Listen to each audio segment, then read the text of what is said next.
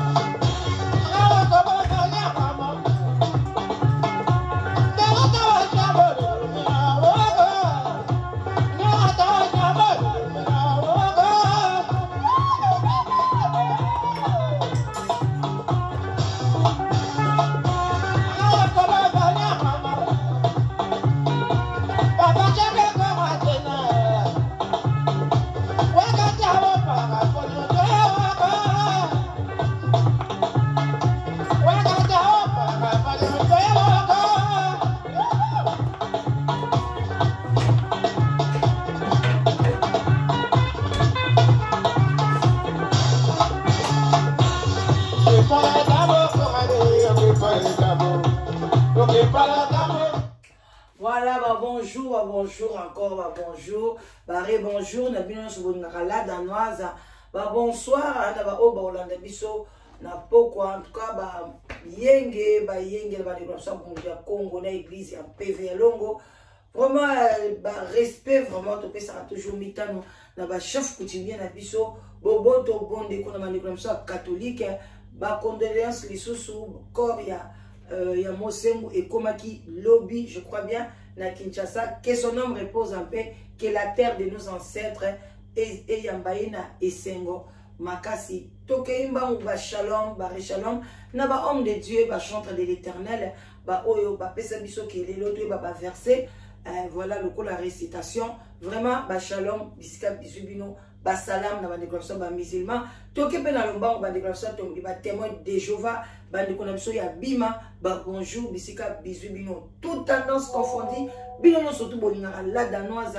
bolingaka toujours boyoka bon déjeuner na mama leki na bino la danoise en tout cas ba gros bisous je vous love je vous aime bozala na kimia nous sommes ensemble voilà bandeko na ngai na ntongo ya lelo na déjeuner ya lelo bino moko boyebi heure etambolaka mbangu mbangu tozali kolobela likambo moko ya ndeko na biso ya mwasi ndeko na biso ya mwasi ntango mosusu tokolekisa yango mpe na live ekozala bien tokoyebi te so tokobenga ye c'est une femme insensée une femme sorcière une femme elle est une folle on ne sait pas c'est à vous de juger la femme parce que histoire est très triste hein? bato baleli on ne comprend pas pourquoi la femme peut arriver à faire des choses comme ça bozala c'est ya sur le baoba non copati copa café vin blanc vin rouge elekaka kitoko makasi kolanda la danoise boye te mai ebele moi eza makasi mai ebele nga mpe naza na kopo na nga ti vraiment nous allons boire ça ensemble ekozala bien parce que toza na ntango ya bon déjeuner bandeko na ngai sans tarder tozokende na lisolo na lombango vraiment euh, je crois je peux m'asseoir aussi ekozala bien makasi voilà tovanda na mwa moke lelo na bon dejeuner ya biso ya lelo euh, toza na ndeko na biso ya mwasi Euh, vraiment euh, ndeko abe eh, pardon ndeko na biso ya mobali azali euh, babenga bango bavirgile baza bato oyo bagardaka baekole bamagasin bato ya sécurité kua awa ah, babenga bango sécurité bon azalaki ye nde abengi alobi la danoise beta lisolo oyo euti koleka biso na lille précisement na france bambote ebele là c'est ma grande sœur azalaka na france topesi bango famille kivuvu nyonso topesi bango bagros bisou baza na kati ya france précisement na, na lille kota ba tourcoin kuna en tout cas ba gros bisous à vous tous et ma grande soeur propre na pesi ba gros bisous voilà alors euh, bandeko na ngai euh, ah, ndeko na biso mobali alobi azalaki na ye na, na plein fonction na mosala na grand magasin ya monene atelemi na ye atelemaki na ye amoni kaka mwana moko boye ya moke ya 7 ans précisement mwana na azalaki na 7 ans aye wana epai na ye aza mpe mwana ya moto mwindo aye wana epai na ye mwana alati kitoko ya 7 ans ya mobali alati vraiment très bien propre aye epai na ye alobi ne s'il vous plaît monsieur est ce que vous avez vu ma mère ayebisi est ce que omonaki mama na ngai alobi na ye abi mama na yo abi ngai nayebi mama na yo te abi te mama na ngai ayaki awa wana sikoyo ekomi heure nini ezokende ba 10 heures me bana wana bakomaki esika wana eh, na, na 7 heures ya ntongo 7 heures bandeko na ngai boloba ndenge nini boyebi na heure parce que bacamera motu epesaki heure yango nde bosalaka wana oke na parking ozokende na magasin ndeko na nga bacamera ezwaka biso na mobimba alors keba na camera eh, yo moto olinga kokeba magasin ta biso olinga oyiba eh, biso omoni sak moko omoni eloko keba kamera ezwaka biso mouvement nyonso to alors mwana wana mama na bango amemaki bango na 7 heures du matin wana ko magasin nayo efungwami te aye na bango na na nini na na place wana magasin ezali efungwama ba 8 heures alors amemaki bango deja partir ya 7 heures aparke na ye liboso ya grand magasin alamusi bana na ntongo asukoli bana na ye bien bazalaki bana mibale ya mwasi ya 5 ans na mobali ya 7 ans asokoli bango bien aye na bango ti na parking ya magasin wana epuis azalaki na voiture na ye atiki mpe atiki mwana na bana yango bazalaki bango mibale na nsima na contact ya voiture akangi moto très bien atiki na contact ya voiture kaka esika wana mama wana abima boyoka suite mama wana akendeki wapi asuki wapi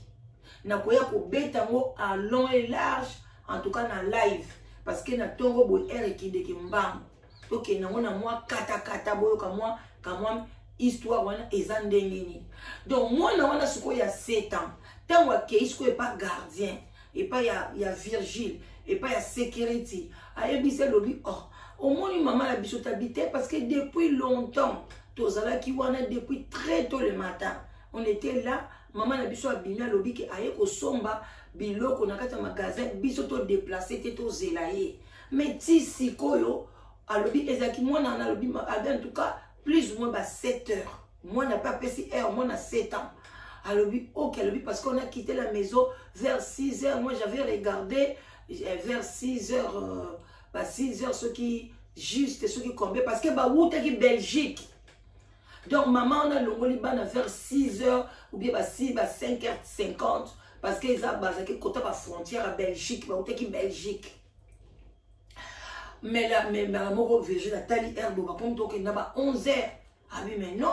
aye ake abengi sikoyo chef na bango chef abengi bapesi koma mama bagangigangi na magasin mama azomonana te balobi ah, ebongo mama aza oza na nani alobi ngai natiki leki na ngai mwasi alali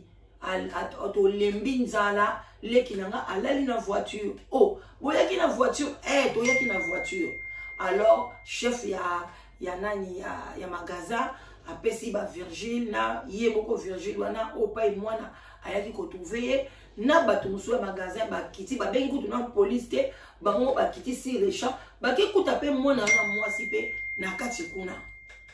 mwana yango kutu alali babandi oningisa ye azolinga te laisse moi eh, ma maman ma maman mwana ya mwasi ya 5 ans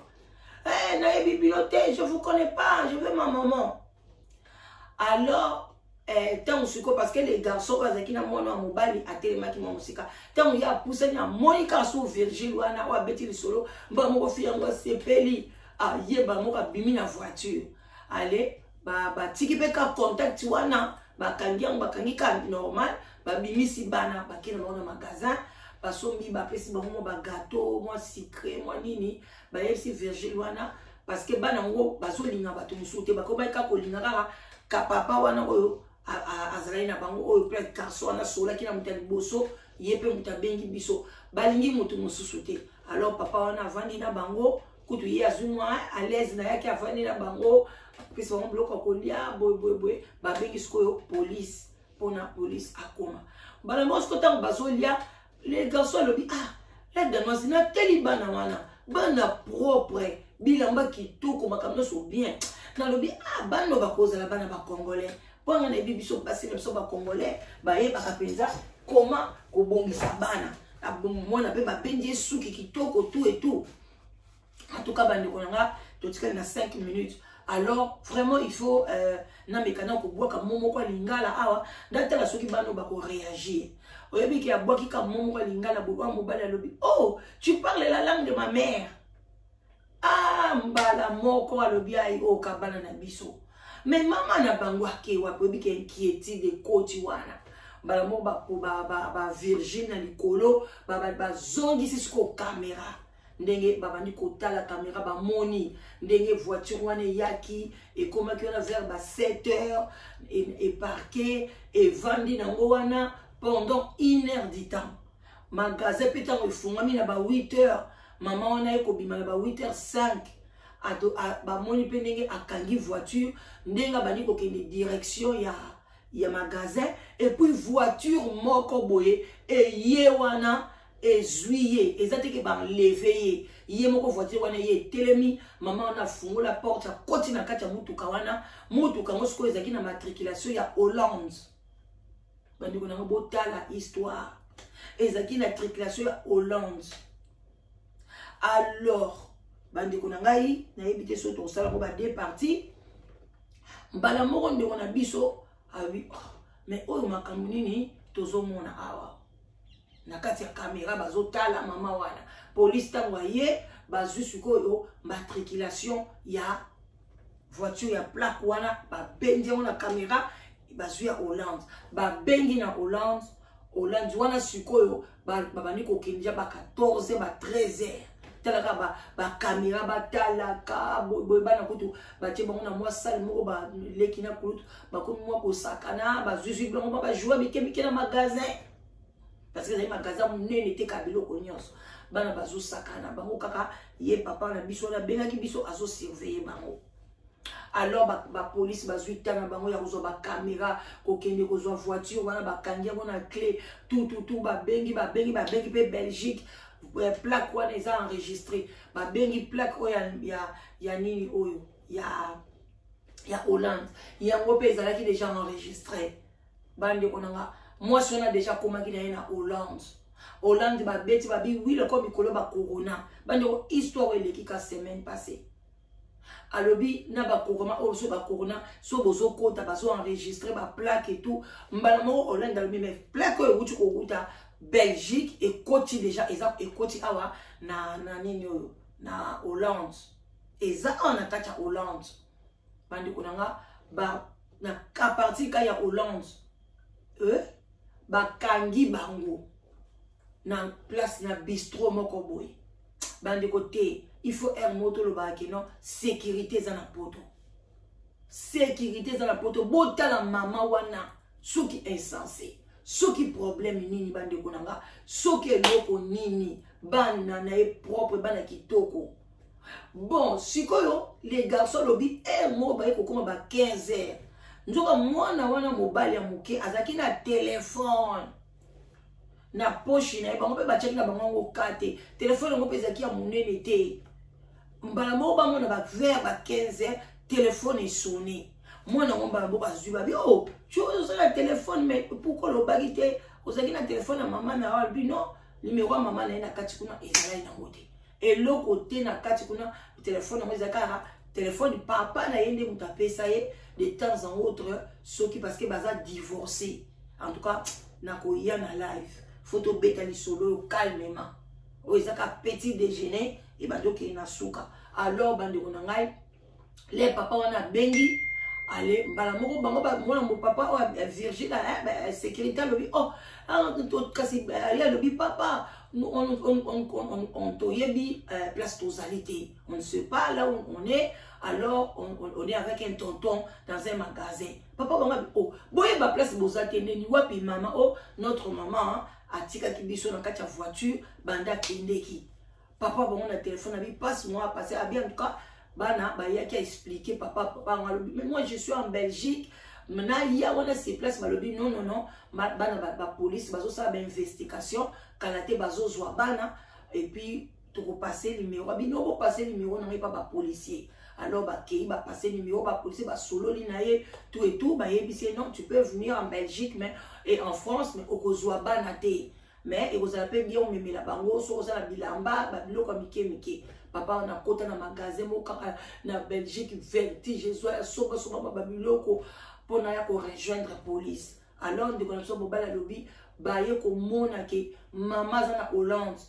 bakangi mama wana parce que ntango bango eh, bapolisi ba basukaki wana bamoni deja bapesi makambo na bapolisi ya hollande bazwi bana bake na bango après deuxième jour nde baye kopesa compte rendu epa chef na bango na magasin parce que c'est comme ça tala histoire oyo elekaki la mama bakangaki bango na hollande na mobali na ye wana ayaki kozwa ye na ye mama wana bakangi bango mama wana aza na prison donc bazwaki ye mbala moko prison akosamba partir ya kuna batyaki bango kutu na garde à vie te directement na ye mobali azwaki ye na belgique et na france na ye abandon des enfants na kati ya voiture bana ba mineur bandeko na nga kokende na ba 10 ans de prison bie ba 10 ans même 15 ans parce que eza bana mibale yango bandeko na nga à vous de dire qu'est-ce qui s'est passé à la tête de cette maman alors que la, leur père était là papa na bango aza na ye na belgique